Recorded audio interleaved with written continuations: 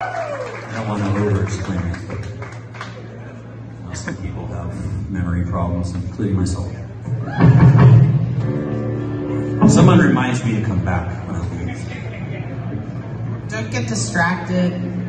Forget that you're going to come back in.